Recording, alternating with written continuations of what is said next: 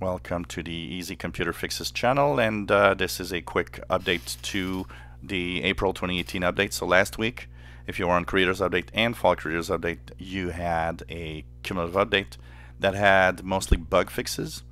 In uh, this week, the last Tuesday of the month of June, uh, today June 26th, we had a cumulative update for the uh, April 2018 update. No security in here, so don't worry about it. This is just bug fixes.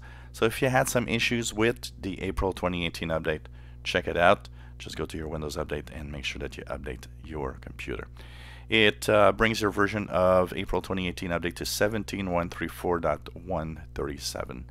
And uh, hopefully if you had some issues, this fixes the problems. So just add on to your Windows Update in uh, your Windows 10 machines and uh, let's cross our fingers that uh, you might have some bug fixes.